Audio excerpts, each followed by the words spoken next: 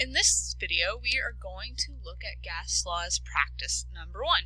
And the first problem is a Boyle's law problem. And it says the volume of gas at 99 kilopascals is 300 milliliters. If the pressure increases to 188 kilopascals, what is the final volume? Um, and so it tells us which equation we need to use here, but even if we didn't know this is Boyle's law problem, we can look at the equation and say the volume of gas at 99 kilopascals. Well, we know kilopascals is a unit of pressure, um, is 300 milliliters, and we know milliliters is a unit of volume. So, and we know these are our initial pressure and volume. We're starting here. So this is our P1 and our V1. If the pressure is, increases to 108 88 kilopascals, so this is our P2 value, what is the final volume? So we're looking for our V2 value. Um, so we can label all the variables in the problem, and then we know we need to use uh, an equation that has two pressures and two volumes. So if we write our gas law, uh, PV over NT, and we know we're just going to use P times V. So we're going to use P1 V1 equals P2 times V2. So we know that that's the gas law that we need to use here. Even if we don't remember that that is called Boyle's law, we know we need to use P1 V1 equals P2 V2.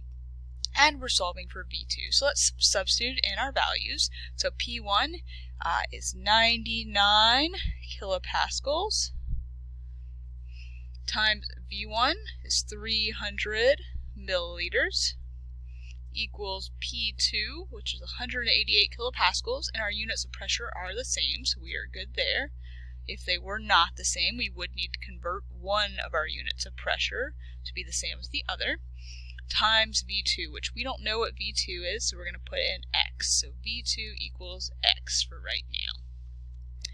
Alright, so our units of kilopascals are going to cancel out, and we're going to be left with our units on our final answer being in milliliters. So I'm going to go ahead and put blank milliliters here, so when we get x, we can put in x equals blank milliliters.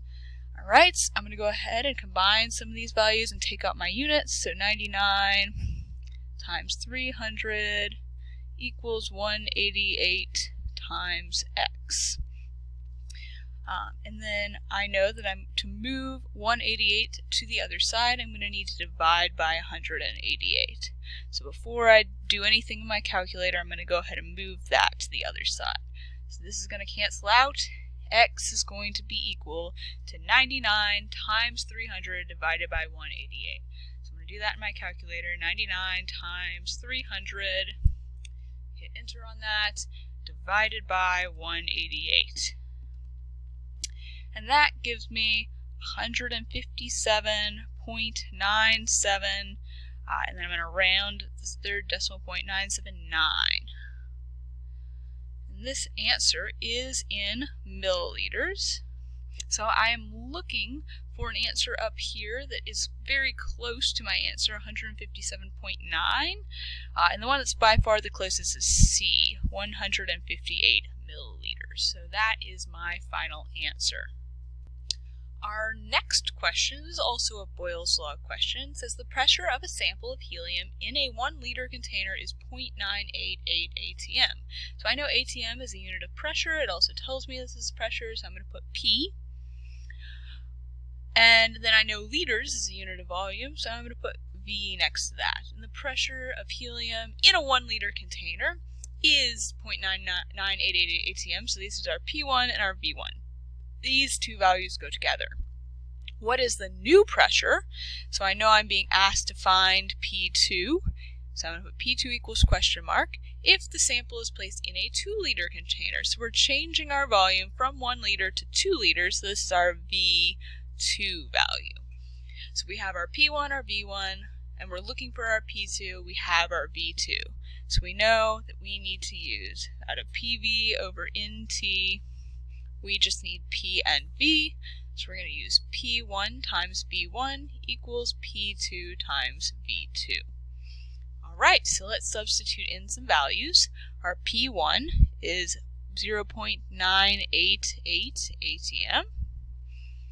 Uh, times our V1 value, which is 1 liter, equals P2, which we don't know what P2 is. So We're going to put an X uh, times V2, which is 2 liters.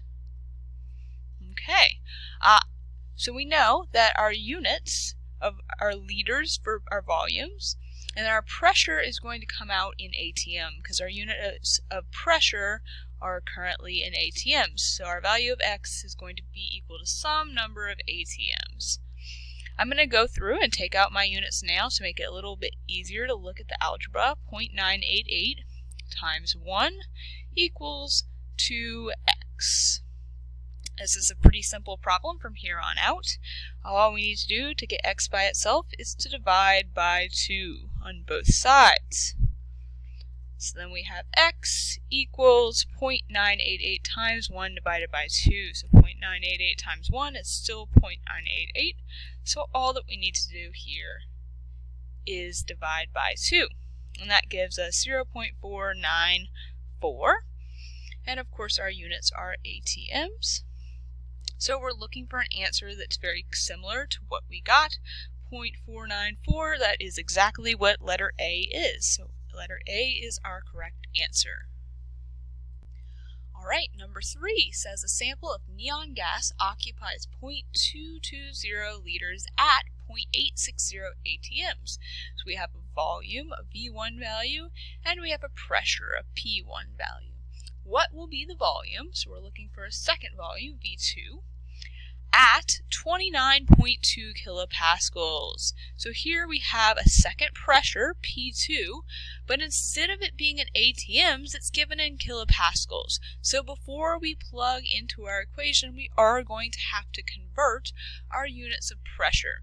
We either need to convert kilopascals to ATMs or ATMs to kilopascals. And it doesn't really matter which way you do it, but I always like to convert to ATMs because our gas constant on our formula sheet is given um, with ATMs as the unit of pressure, which will become important when we're using the ideal gas law later. So I always liked to convert my units of pressure into ATMs, and one ATM is equal to 101 kilopascals. And you can use these conversion factors on your quiz. I think they are given to you at the top of your quiz. 1 ATM equals 101 kilopascals. So what we're going to do here is a little bit of dimensional analysis. We're going to do 29.2 kilopascals. And we're going to put kilopascals on bottom and ATM on top. Okay, then we match up our units. 1 ATM equals 101 kilopascals. So then, when we do our dimensional analysis, we're doing 29.2 divided by 101 which gives us 0.2891 ATM. Notice I am keeping several decimal places here because I don't want to end up with a rounding error in my answer. So a good rule of thumb is to hold on to at least four, three or four decimal places. Here I probably could have done three because my other pressure is given with three decimal places. Um, but I'm going to go ahead and keep four, it won't hurt anything. So this is our P2 value in ATMs. So now that we have both those values, we can use Boyle's law. P1 times V1 equals P2 times V2. We'll substitute in. Uh, our P1 value is 0.860, 0.860 ATM times our V1 value is 0.22 0 liters equals P2, uh, which is right here, 0.2891 ATM times our V2 value, which we don't know, so we're going to put that as Now we're going to go through and look at our units. Our ATMs are going to cancel because we have one on either side.